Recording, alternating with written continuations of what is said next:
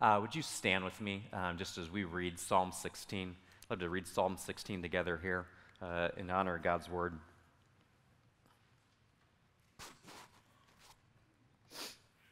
Psalm 16 says this, written by David Preserve me, O God, for in you I take refuge.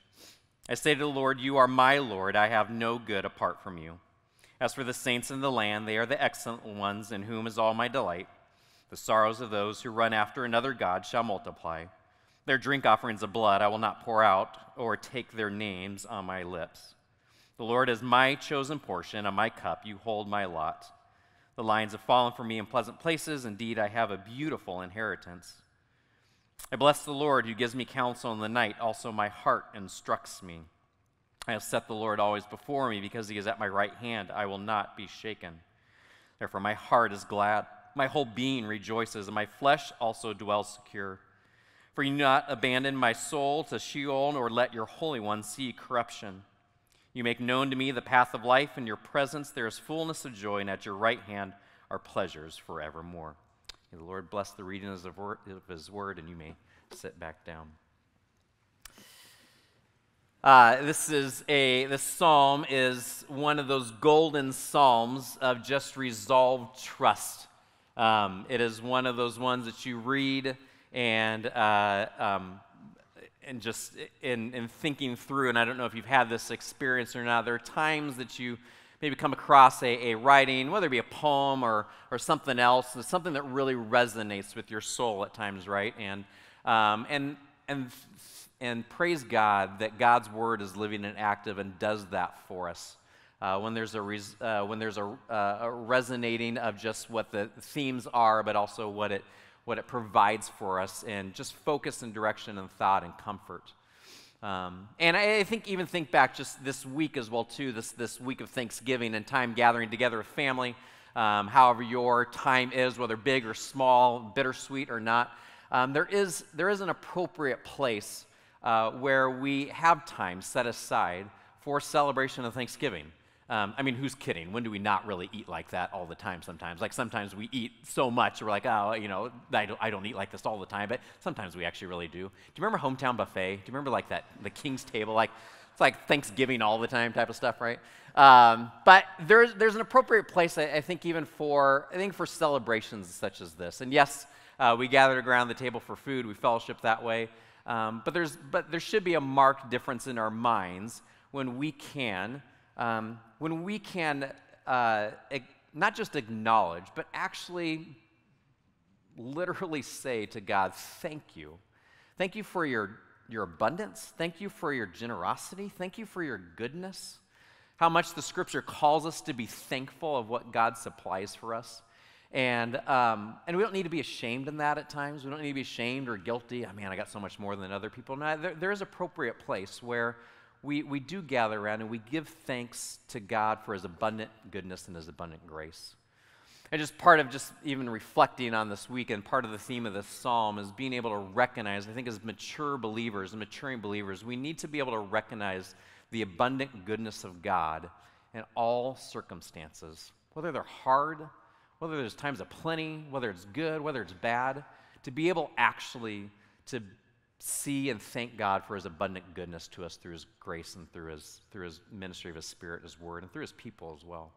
And part of the theme of the psalm is David walks through, and, and I, it's funny, the, the scripture doesn't tell us when exactly this psalm was written, what were the circumstances regarding uh, David for this, uh, for the setting of the psalm. And, and you really could place it anywhere in David's life, right? Like David was always in peril. He was always in, in threat of his life. There were things that were always taking place in his life. I, I, I, probably more land a little bit. I think the psalm was written more towards the end of David's life.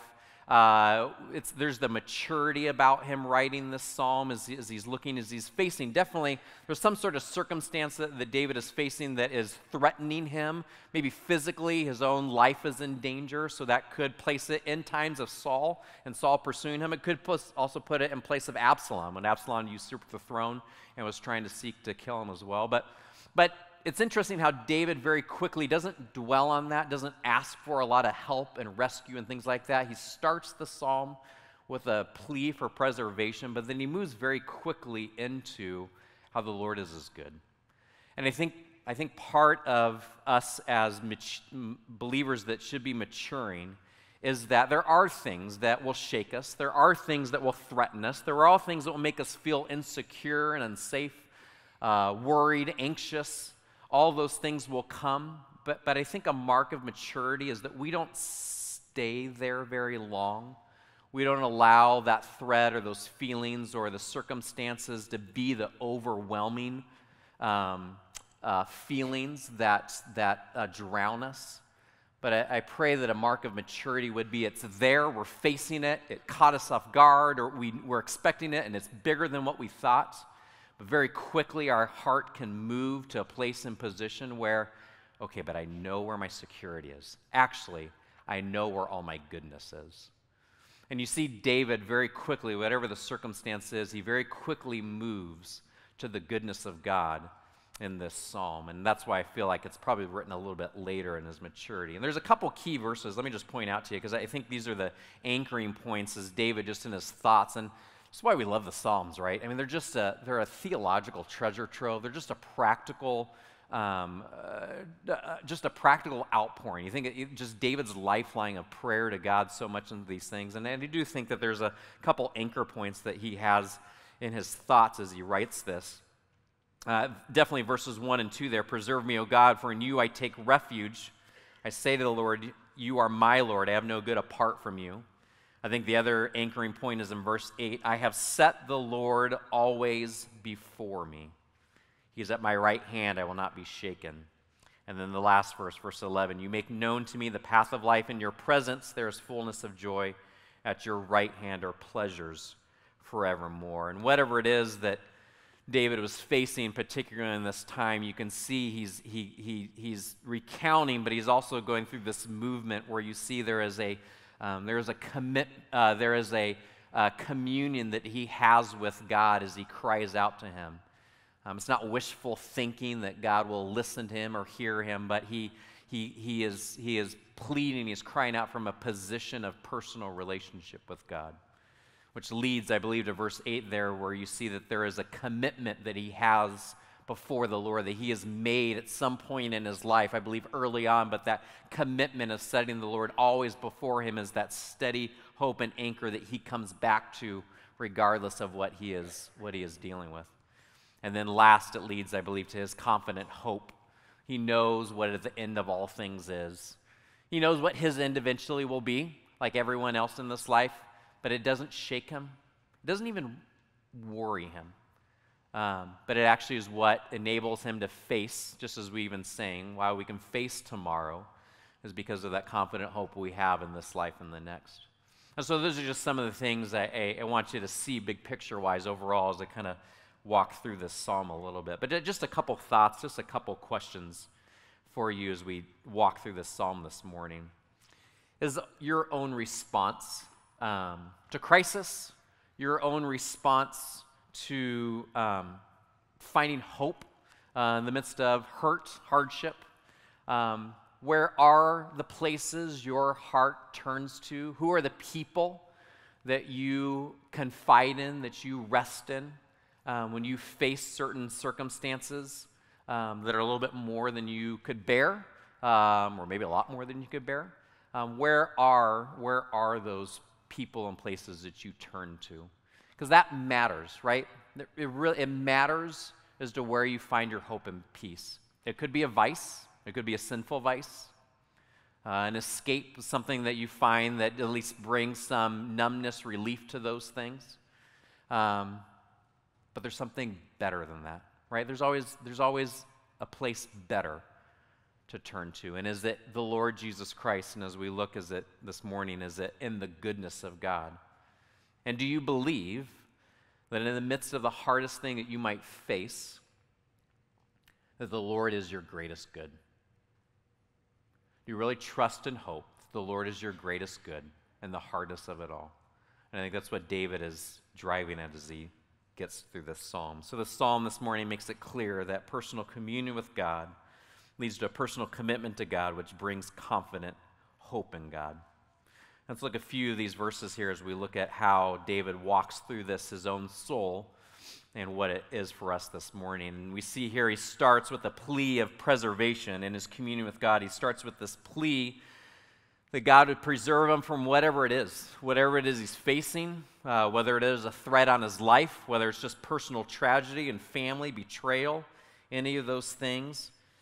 And his plea is definitely personal as he cries for safety, for God to keep guarding watch over his life as he seeks asylum, as he seeks ref, refuge in him. You think of a, a refugee, right? Who's escaping whatever threat that they're in and they're looking for a place to go of safety happens all around our world. It's happening right now, right? Refugees, they're looking for places where they can enter in, where they won't have the threat of their life um, under attack all the time. And who will take them in? Who will have the capacity, the power, and the ability to provide what they need and, in help and hope, but also in protection and safety?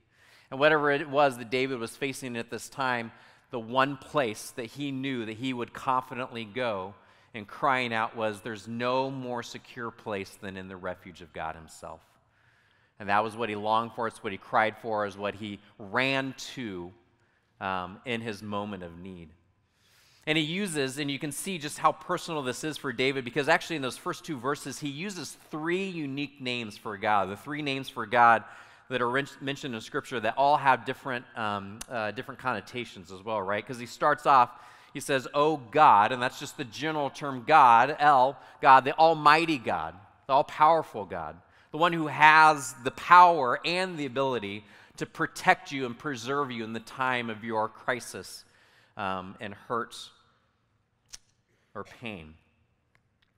Then he calls him, he says to him, he says, verse 2, he says, I say to the Lord, you are my Lord. And it is the two different names of the Lord. In our Bible, English Bible, it says Lord, but maybe your Bible, the first one's capitalized, L O R D, right? And that would be the intimate name of God that's used, Yahweh, right? His revealed name that he gave to Moses, the I am, his special revelation of his name. And so you see that, that in here, David is calling personally upon God. He has a personal position of relationship with David that he's going to call on his personal name. But then when he says to him, You are my Lord, it's the small L, the small lettering, right? And that's the word for Adonai, which would be master, the sovereign one, the one who is his rightful ruler, who he has submitted to under authority and in obedience. So he calls to him, My God, he says, My Lord, the divine one, the, the one from all eternity past. But then he says, My good master, I have no good apart from you. He uses the slave language there, right? He uses the language of someone who is owned by someone else, someone who is at the mercy of another who has authority and rights uh, over them, that could very easily abuse that relationship but obviously, as we know, God does not abuse his relationship with us, and David trusts that since he's willingly submitted himself in obedience to, Lord, I trust you, and there is nothing good I have that hasn't come from you. And David, David has faced a couple moments, and sometimes it can be funny to think, well, David's the king. He's got everything, right? I'm not going to be a king. You're not going to be a queen. Like, we're not in that position of things. David has more than I have. And yet, there's a position here where David say, all of it aside, all of it gone away, even if, he, if this was the time with Absalom, if he was driven out and he, he probably maybe was uncertain what the outcome was going to be. It doesn't matter. All those things aside, I trust your goodness to me. That's really where the crux of it comes down to, right? Could you actually say, if you personally lost everything, if you personally lost everything, if you were forsaken by those closest to you, betrayed, hurt, if your position of whatever it is that you hold so that we hold so securely and tightly and that was gone at the end of it, could you say, Yeah, my greatest good is God alone, and I'm content with that? Could you say, if all those things aside and loss, could you say, God is my greatest good, and I am content. And all those things are just things, and all that stuff is stuff, because I have the greatest treasure there is, and it's God Himself. And David says this not from a position of arrogance, not from a position of um, condescension.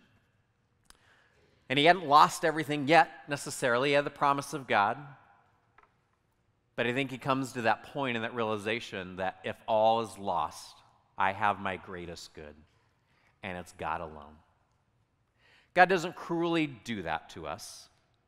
There are times of loss, there are times of instability.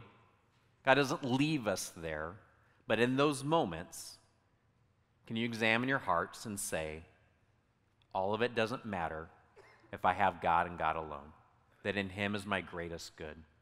And you can only do that, by the way, if you really are in personal communion with the Lord. If your fellowship with Him is genuine, and if you're walking with Him regularly and consistently, so that when that moment happens, you can say, I have no good apart from you. His total dependence of God and the goodness of God in all things. Even Paul expressed this, right? Paul over in Philippians 4, when he says, I have learned the secret, I have learned to be content in all things, and I can do all things in Christ who strengthens me. That the issue and the matter is really a heart full of contentment in what it is that the Lord either has granted us or has taken away from us. Are you content and satisfied? In times of trials, test these truths in our hearts but it's also the times of testing that mature us into this confident hope. That's why we face these things and go through them. But in the kindness of God, He never leaves us alone, right? He doesn't. There may, there may be a time where you, there may be times where you definitely feel alone, and there may be times that you are actually lonely because of the circumstances setting. But in the end, God doesn't leave us by ourselves. He doesn't leave us out on the island to fend for ourselves and, and, to, and to figure it out on our own. God, in His gracious goodness, always, always surrounds us with Himself, but most manifested through His people. And that's where David turns to in these next two verses, right? You can see a con- uh, compare and contrast where he says, As for the saints in the land, they are the excellent ones in whom is all my delight. He talks about how, and saints is just a fancy word, right? It just means holy, set apart, those that have been called by God for a special purpose. David wanted his surrounding company to be those who were also part of God's people. And even those inside his circles were betraying him and hurt him. Where did, get, where did he want to be? He wanted still to be with God's people. And those were his excellent company. And that's how God shows his goodness to us. It's not in stuff, it's not in positions, it's not in the things, it's with the fellowship of other believers because that's who the Holy Spirit is indwelling, and that's how we know and experience the presence of God. Those are the excellent company that we keep, or those that are in our, the circle of God. And here's the thing about it, too, right? Like, if if you're going to, if you're going to love God's company and God's presence, you have to love the company of those who also love God. Sometimes there's this little thought, or you hear it expressed every once in a while, like depending on the circumstance and setting, somebody like, well, they're going through something difficult, and they'll kind of maybe, if you use this phrase, okay, but if you heard it like, oh, well, it's just me and God. Me and God, and we're going to get through this, and we're going to do this. And, there, and there's almost an element there. And yes, the Lord is your security, the Lord is the one that you turn to, but sometimes, sometimes it can be said in such a way that, like, God, God understands us, He's got this, and it's me and Him because no one else can really know what I'm experiencing. And there's almost settling there the shutting out of other people who actually can feed into and can actually come around and come alongside and help you in your circumstance. But if you make this claim at times, or if you isolate yourself, or you put yourself in a position where you can't be touched, you can't be counseled, you can't be ministered to, because your thought is, well, it's just me and God, and we've got this. He's got this, and we've got this type of thing you totally miss out on how God is preserving you. You totally miss out on how God is going to minister to you through his people. Don't shut out the people of God. Look, sometimes, I'll be honest, sometimes we're a little hard to get along with each other, right? We're a little hard to maybe see eye to eye. We have different parenting philosophies. We may have different jobs. There's not a lot sometimes that we may agree on, type of thing. There's, we can find the common things and stuff like this. But I'll say this it has everything to do with who you turn to and who you are trusting. Because that's the contrast here, right? When he says, when he says in verse 4 there, when he talks about those that run after another God, he says, The sorrows of those who run after another God shall multiply. Their drink offerings of blood I will not pour out or take their names on my lips. What's he talking about here? Maybe in your translation it says, They barter for another God. David's talking about an issue of trust. He's comparing and contrasting look, I want to be in the safety and security of God, of God's, uh, of God's refuge. I want to be in the safety and security of God's people. I do not want to be surrounded. I do not want to follow along the same path. I do not want to be surrounded by those who are placing their trust in something or someone other than God.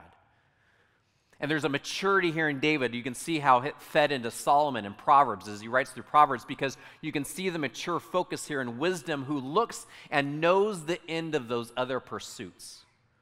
He says, I know what happens at the end for all these people who are pursuing other things. I know what it brings eventually. It brings sorrow.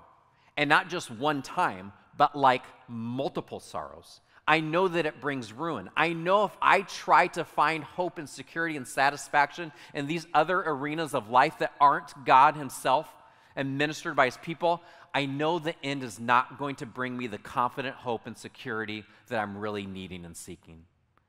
And he gives, and he gives, a, he gives that contrast here, saying about who do you turn to in times of influence, in, in times that you would be influenced by for your security and trust.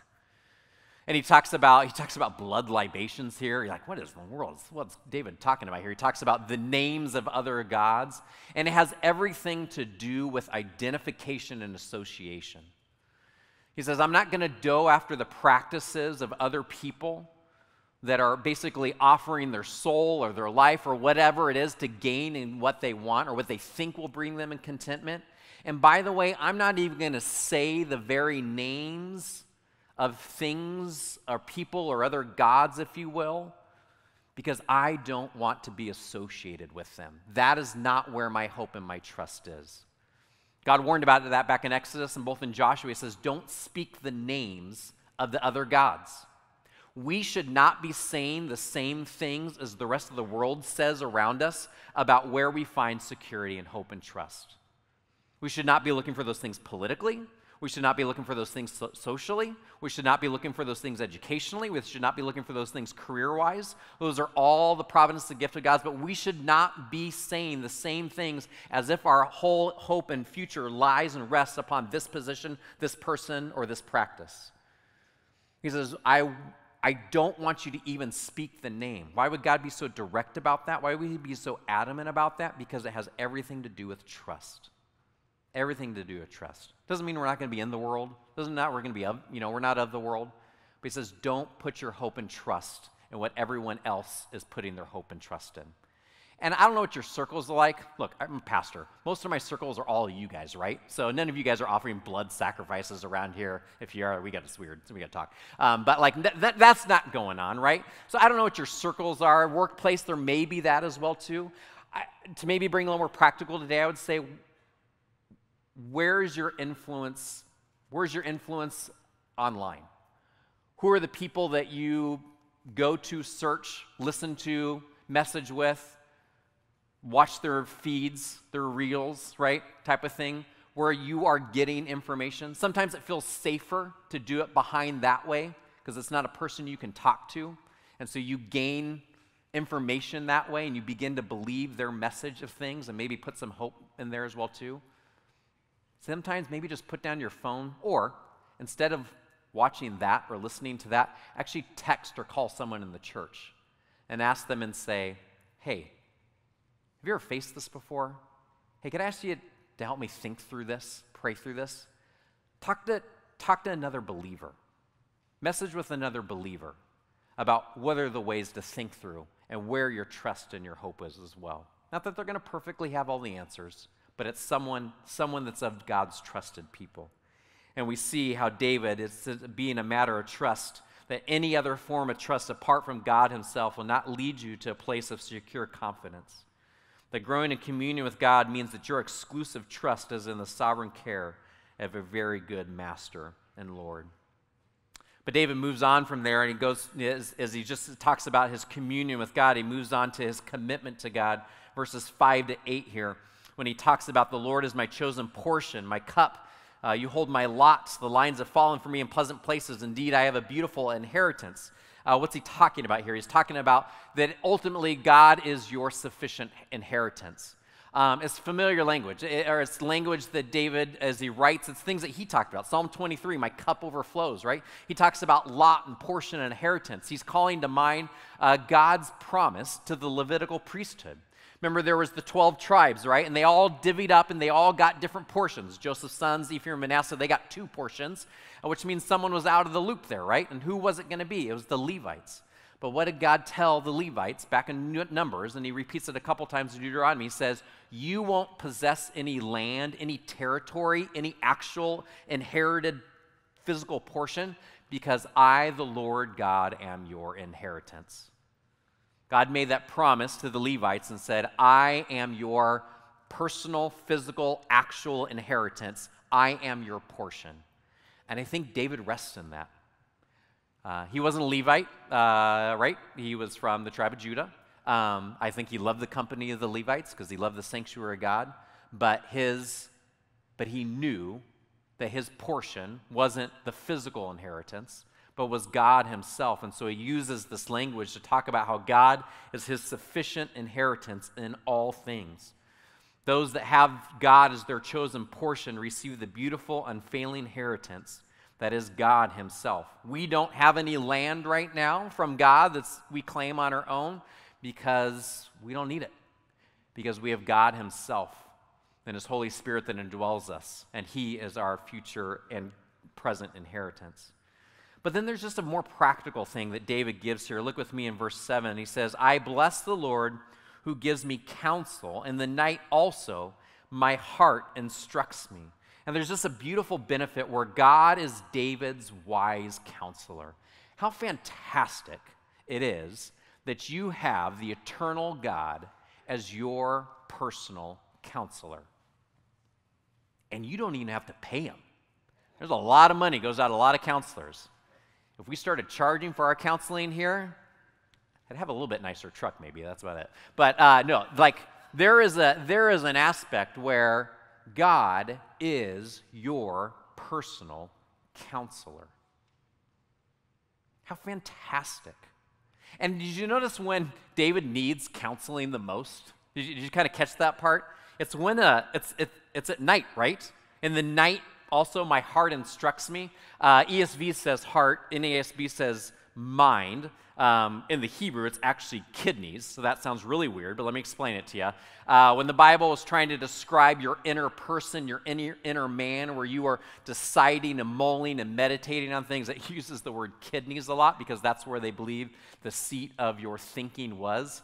Very bizarre, but that's how they took it, and that's okay. Um, but it's it's this idea of where do you where do you mentally process through things. I think mind is probably a better translation here, and if you use this way, then work it out this way, is because where is the seat where you need to be instructed at nighttime? I don't know about you. Sometimes it's my worst time. I'm not thinking straight, or I've been thinking too much. Actually, that's the problem. I've been thinking too much, and I can't sleep, and I can't get to rest, and my mind's racing, and. it's three in the morning the other morning, and Krista leans over and she's like, Hey, did you put out the trash cans this morning? It's Thanksgiving Day. I'm like, It's a holiday. They're not going to come. She's like, I know, but it's Thursday. And I'm like, All right. You can put out the trash cans? I'll do it in the morning, right? And then later it dawned on us, oh, wait, trash doesn't come till Friday. It comes the other day. Okay, it is, anyway. Like it's funny the things that come in your mind, right? All of a sudden, and you're just thinking through. But it also can be the worst time. And when do you need counsel the most? And sometimes it's not waking up your spouse at three in the morning. I, those things don't always work that way, right? But what do you need? Your heart needs to calm down. It's when you're most anxious, when your thoughts get most intrusive. And what do you need to calm yourself down? You need God's counsel, and it comes from God's word. Do you know God's word well enough so that even in the middle of the night, when you wake up, and you're rationally all over the place, Can you start thinking and reciting, whether memorization or just teaching? Can you, in your mind, start to meditate and start to mull over and then preach to your heart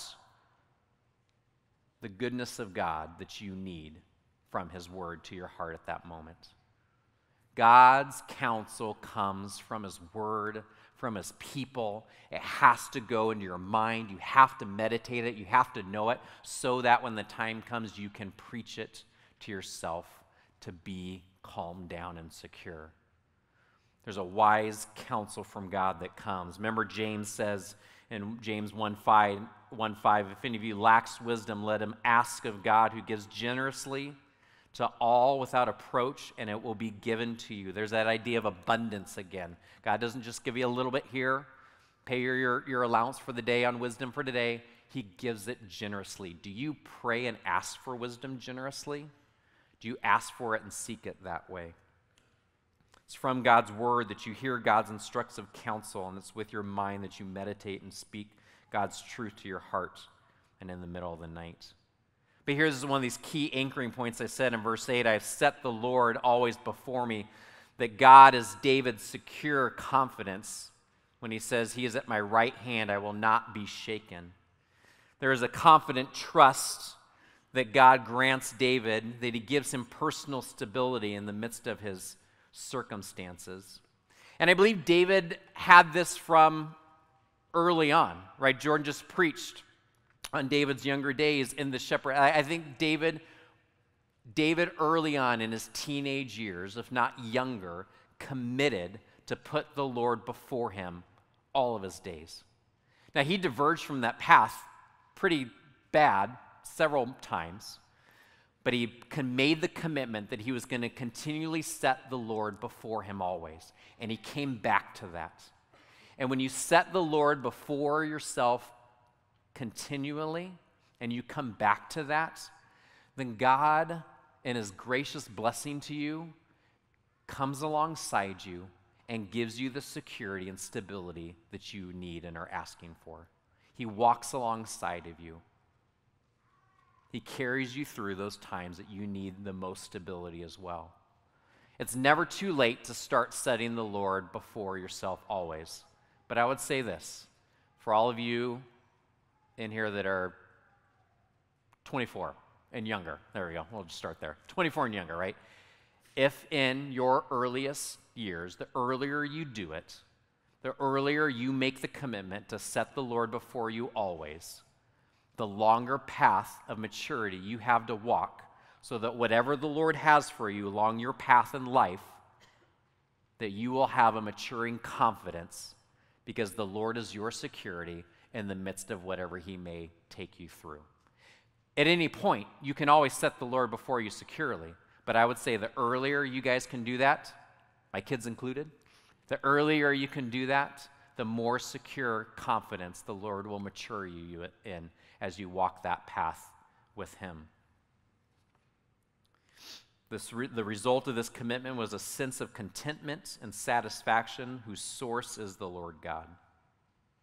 Well, we come to the kind of the pinnacle of this psalm here in verses 9 to 11. He talks about that my heart is glad, my whole being rejoices, my flesh also dwells secure. We see David's confidence in God when he says, For you will not abandon my soul to Sheol or let your Holy One see corruption.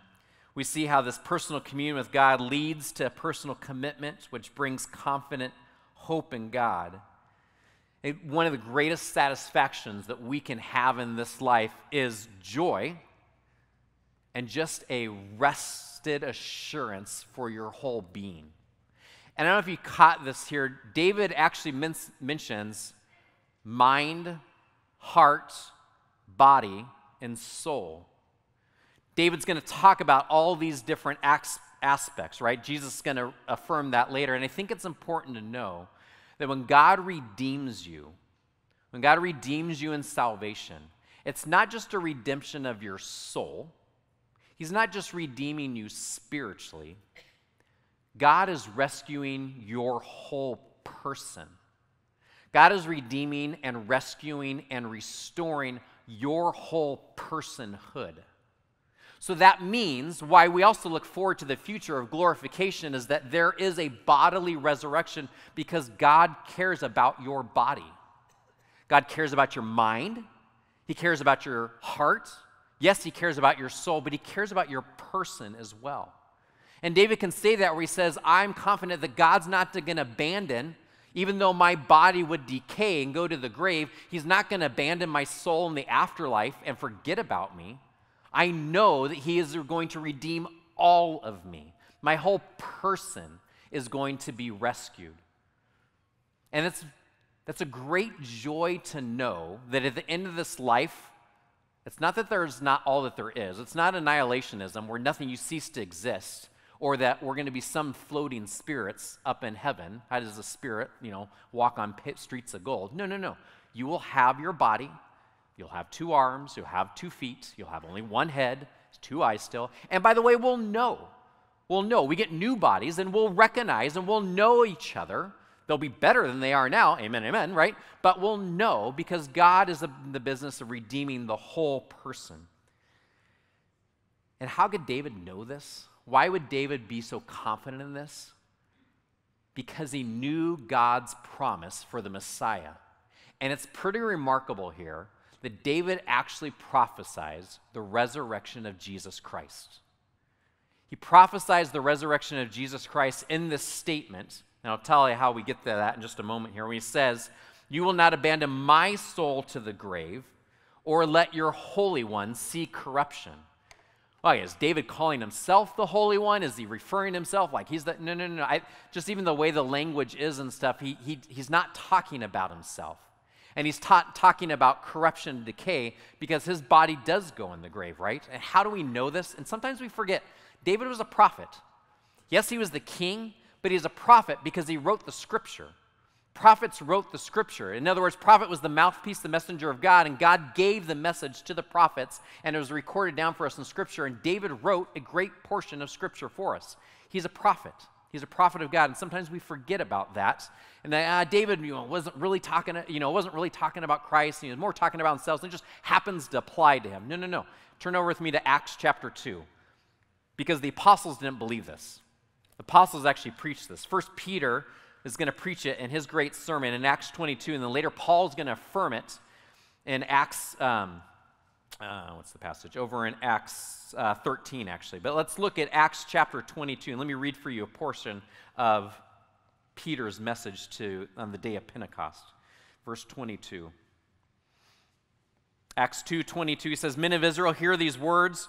This is after Jesus rose from the dead, so this is after Jesus has been resurrected and glorified, gone back to heaven, and Peter is preaching the first great sermon here. Jesus of Nazareth, a man attested you by God with mighty works and wonders and signs that God did through him in your midst, as you yourselves know. This Jesus, delivered up according to the definite plan and foreknowledge of God, you crucified and killed by the hands of lawless men. But God raised him up, loosening the pangs of death, because it was not possible for him to be held by it.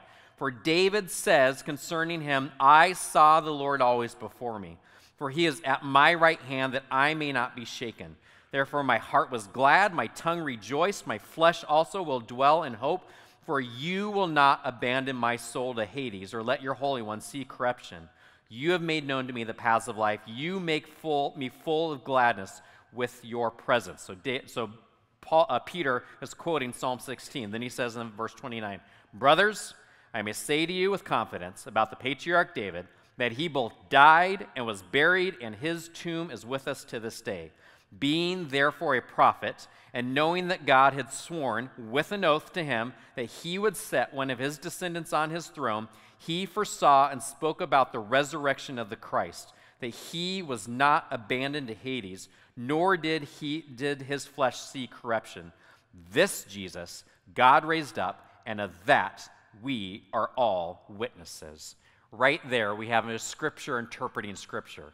To be honest, we probably wouldn't see it as clearly as this, except for the fact that Peter preaches it and later Paul affirms it. This is the aspect where we understand that there are times, there are moments, as they were writing, as David writing, as he's writing about his circumstances, writing about his settings, and he's writing about his preservation in the cave, some things, but he turns in the moment there and makes this marked and hangs his hope on the fact that God had made a promise to him about one of his descendants who would be the Messiah, who he knew would not die forever, but that God would not allow him to see corruption which in turn would be the resurrection for us. It's an amazing assurance that David's hope in the midst of these things was in the coming Messiah. Did he know all the details of how that was going to happen in the Passion Week? No, he didn't know those things.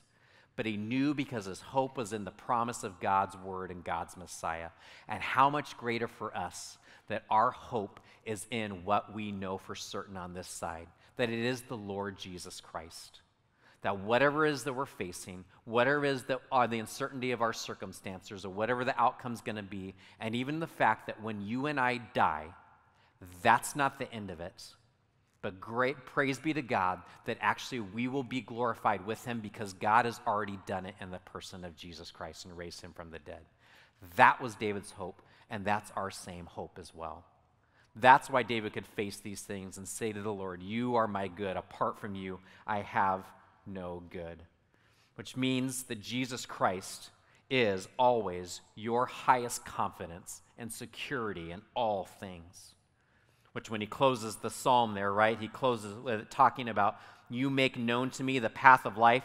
In your presence there is fullness of joy. At your right hand are pleasures forevermore. What is that path of life? Who does that path of life go through? It goes through only and always Jesus Christ.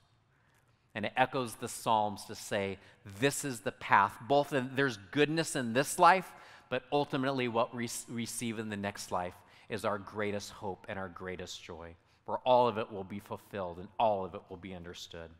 The path that goes through Jesus Christ leads into the face to face presence of God. And how fantastic, how fantastic that that is our hope. For those of you, I know for several of you, some of you have lost someone close to you this last year as well too. Uh, there's always those uh, uh, things um, that we walk through together. For those of you that you know that your loved one is in heaven in the presence of God, how wonderful, right? To have that realization as well too. It is our hope in this life and the next. And there's a moment that we want to glimpse, right? I won't read it for you. I put it in the notes, not those of you that think that everything goes back to Pilgrim's Progress for me, but John Bunyan does write a little bit of a segment in there at the end where he talks about a glimpse into heaven and where Christian and hopeful enter the gates and what they experience. And it's his imagination as he writes those things through. But actually, it's this line at the end that gets me as he talks about Christian and hopeful getting in there. He says, As the gates were opened to let them in inside, I looked in after them and witnessed the city shining like the sun. The streets were also paved with gold, and many men walked on them with crowns on their heads, palms in their hands, and golden harps to sing praises with forever. There were also some angelic beings with wings that re- responded in never ending praise, saying, Holy, holy, holy is the Lord. Then I watched them shut the gates, and I wished that I too was among them. There is that coming hope and reality, or that will be us for one day. We don't have to wish it, we will be there. But in the meantime, we walk securely on the path of life because God is our greatest good, He is our greatest joy, and that is where our hope lies. Let me pray. Thank you. Heavenly Father, I thank you and I praise you for your goodness and your greatness in all things. I thank you that our hope, our confident hope, is in you. For those of us that have made that commitment to you as our Lord and Savior, we rest and we submit into your Lordship. But also, Lord, it means that we have this unique fellowship, communion with you, to know you by name, you know us, and that we can cry and plead to you at any point in time. God, I praise you for that. So, God, is our hope and joy as we walk from here, that we walk confident, secure, and even at night when we're insecure and we're worried, God, you are our counselor. You personally counsel us. And it's your word and it's your people and the presence of your people that enable us to be able to experience the joy of that blessing. God, I love you and I thank you. And I love, I love my brothers and sisters here. I love that you are the Lord of our church, and we say all these things in your name. Amen.